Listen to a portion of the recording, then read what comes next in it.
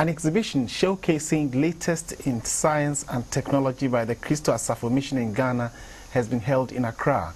The leader and founder of the church, Apostle Kwadwo Safo, displayed some of his latest products comprising two new Kantanka cross vehicles, cross-country vehicles, and a Kantanka robot, which has special features, solar rocket machines, an incubator, and Kantanka standing air conditioners, among others. The exhibition climaxed four days of end-of-year activities of the church.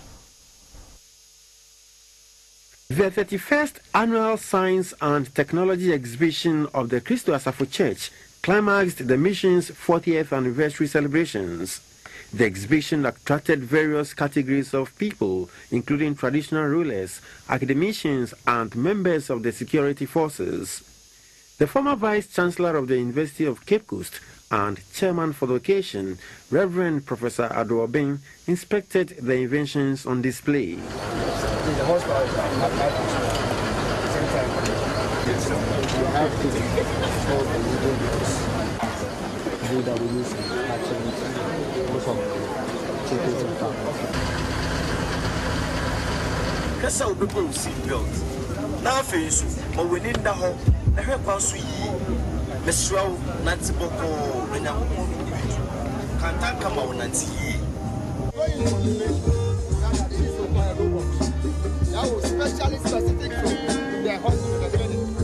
Apostle Kwadwo Safo demonstrated how those machines work, beginning with the rocket.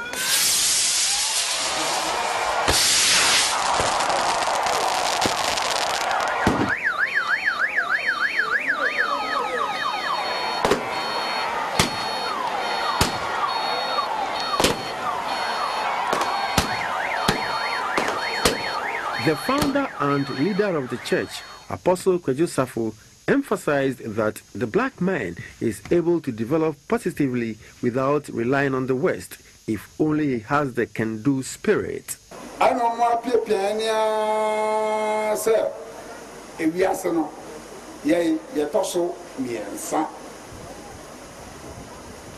na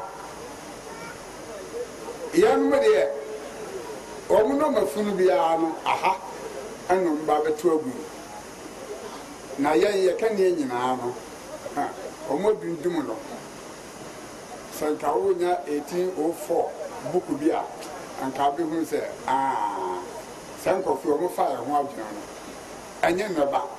The president of Ghana Telecom University College, Dr. Osei Dakwa, who was the guest speaker for the occasion, stressed the important role science and technology plays in our lives and in our quest to develop as a nation. Humanity faces numerous challenges, such as climate change, food security, poverty, threats by various pandemics. We cannot address any of the global challenges without an investment in science and technology.